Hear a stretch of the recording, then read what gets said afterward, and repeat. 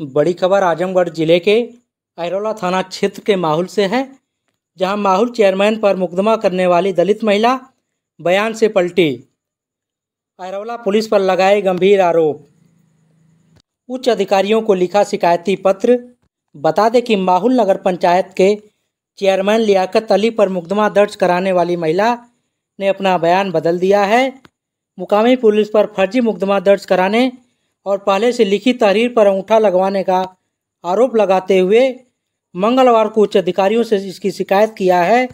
ज्ञात हो कि 22 जुलाई को दीदारगंज थाना क्षेत्र की एक दलित महिला ने अरोला थाने पर पहुंचकर यह कहा कि उसकी 14 वर्षीय पुत्री का फूलपुर कोतवाली क्षेत्र के लाही डी गाँव निवासी अब्दुल रहमान नाम के युवक ने अपहरण कर लिया है और वह माहौल के चेयरमैन लियाकत अली के घर से बरामद हुई।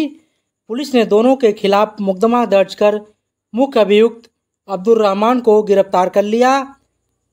मंगलवार को आजमगढ़ के मंडली महिला अस्पताल पहुँची। युवती ने यह कहा कि हमने किसी के खिलाफ कोई मुकदमा नहीं लिखाया है। रात में दस बजे हरोला पुलिस ने उसे जबरन उठा लिया और पहले से लिखी तहरीर पर पैसे का लालच देकर अंगूठा लगवाकर फर्जी मुकदमा दर्ज कर लिया।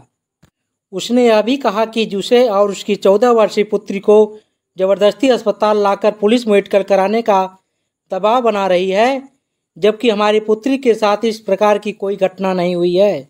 हम मेडिकल भी नहीं कराना चाहते हैं। इस बाबत दलित युवती ने पुलिस महानिदेशक लखनऊ, अपर पुलिस महानिदेशक वाराणसी, डीआईजी और एसपी को लिखित शिकायती पत्र देकर अरौला थाने की पुलिस पर कार्रवाई की मांग की है। युवती द्वारा मुकदमा लिखवाने के चार दिन बाद बयान बदलने से एक बार फिर माहौल में चर्चाएँ तेज हो गई हैं। इस बाबत थाने और सर्किल स्तर का कोई भी अधिकारी बयान देने से कटरा रहा है।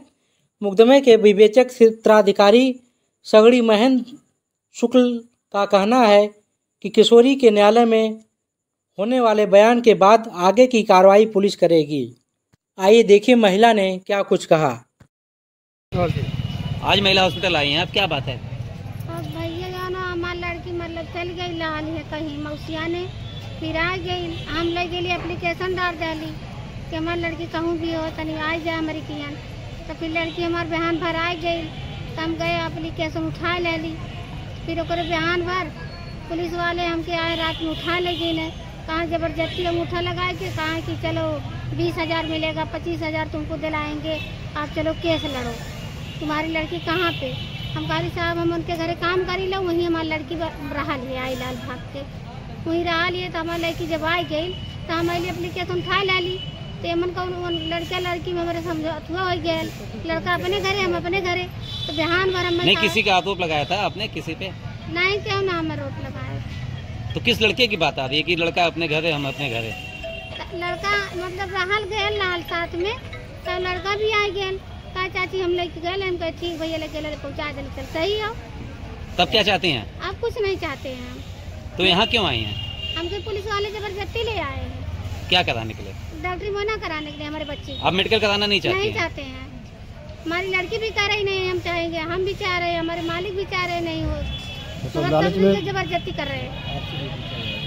हम जब बोलेंगे कि तो तुमको चलो बीस हज़ार देंगे कोई तुमको दबा डाल रहा है कोई और कर रहा है कुछ नहीं ऐसा कोई बात नहीं। कौन सा थाना है?